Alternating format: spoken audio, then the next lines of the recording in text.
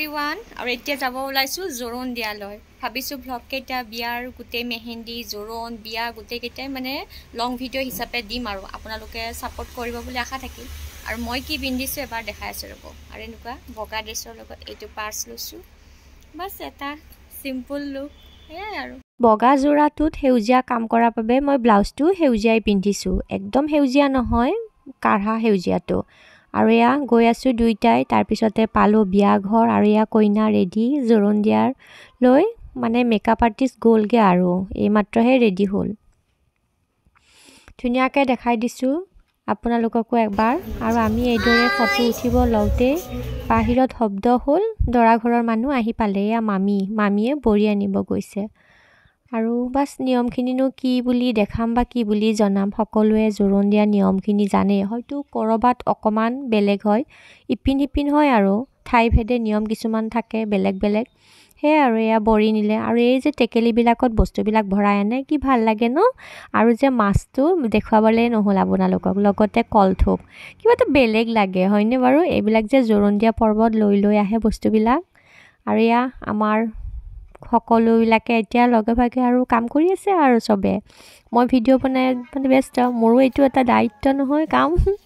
আৰু এয়া কইনা ওলাব এতিয়া জোৰোণ দিবৰ বাবে।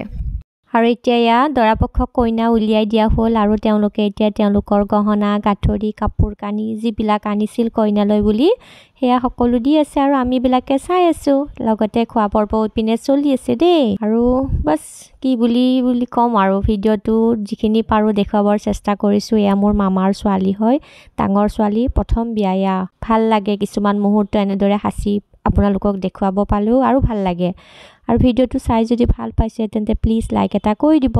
আৰু যদি বৰ্তমানলৈ চেনেলটো ছাবস্ক্ৰাইব কৰা নাই তেন্তে ছাবস্ক্ৰাইব কৰি থৈ দিব। আৰু ভিডিঅ'টো ইমান ধুনীয়াকৈ চোৱাৰ বাবেও আপোনালোক সকলোকে ধন্যবাদ জনাইছোঁ। এতিয়া চাহ খাবলৈ আহিছোঁ।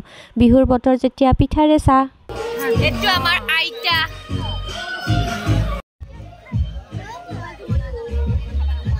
আজিকালি জোৰোণৰ দিনাও কেক কাটে নহয় সেয়া কেক কাটি আছে আৰু। নাযায় দিনে দিনে। দিনে দিনে। জোৰোণৰ প্ৰায়খিনি বস্তুৱে দেখুৱালোঁ। যদি মই ৰন্ধা বঢ়া নেদেখুৱাওঁ কেনেকুৱা হ'ব? সেয়ে দেখিছেনে? ৰন্ধা বঢ়া। ৰন্ধা বঢ়া পূৰা গতিত একদম চলি আছে। আৰু এই চব আমাৰ মামাৰ ল'ৰা মামাৰ ছোৱালী সকলো মিলি জুলি ইয়াত লাগি ভাগি আছে। এয়াই আৰু। ঘৰৰ কাম কাজবিলাকত ঘৰৰ মানুহে যদি লাগি নিদিয়ে কেনেকৈ হ'ব? হয়নে বাৰু? এয়াই আৰু আৰু এতিয়া মই বেছি মানে কি জলপান বিচাৰি আছোঁ চিৰা দৈ। চিৰা দৈ মোৰ খুব প্ৰিয়। ভাতেই লাগে কমকৈ খাম কিন্তু চিৰা দৈ নহ'লে নহ'ব। আৰু এইপিনে আমাৰ মাতাশ্ৰী চাহ খোৱাত ব্যস্ত। আৰু এয়া পাই গ'লোঁ চিৰা দৈ। বিয়াত আহি যদি দৈ চিৰা নাখাওঁ কেনে হ'ব হয়নে? দৈ চিৰা দৈ চিৰাটো খাই ল'লোঁ বৰ সোৱাদ আছিল দৈখিনি। দেই বিয়াৰ দৈ। সঁচাকৈয়ে বিয়াৰ দৈ চিৰাৰ কথাই বেলেগ। বেলেগত আপুনি হাজাৰ খাওক কিন্তু বিয়াৰ দৈ চিৰাৰ নিচিনা সোৱাদ ক'তো নাপাব। আৰু শেষত জোৰোণ দিয়া মানুহখিনি গুচি গ'ল দৰা ঘৰৰ মানুহ আমিও খাই বৈ লৈ অকণমান সময় বহি কথা পাতিলোঁ। তাৰপিছতে এতিয়া আৰু ঘৰমুৱা হ'ম। দুপৰীয়া খোৱাখিনি আপোনালোকক দেখুওৱা নহ'ল। দুপৰীয়া খোৱাখিনিনো কি আৰু কি দেখুওৱা? মানে ভিডিঅ' কৰা নহ'ল। লগ পাম দেই নেক্সট ভিডিঅ'ত